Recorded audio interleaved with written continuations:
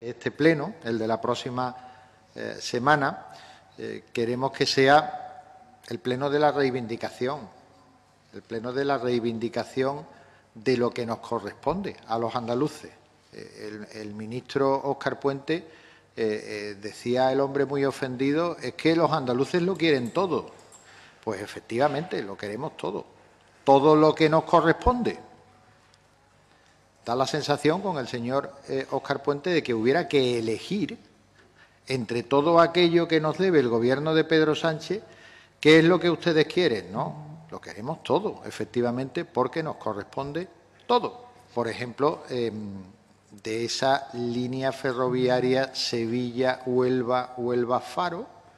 tan importante, porque supone la conexión por el sur de dos países,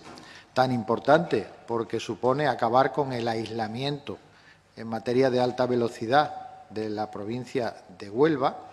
y que, sin embargo, eh, al Partido Socialista, con su ministro y su presidente Pedro Sánchez al frente, pues no le parecen importantes, eh, ya que han tirado a la papelera y han desdeñado este importantísimo proyecto, como antes lo hicieron, hace escasamente dos semanas, con el proyecto eh, ferroviario que uniría la ciudad de Málaga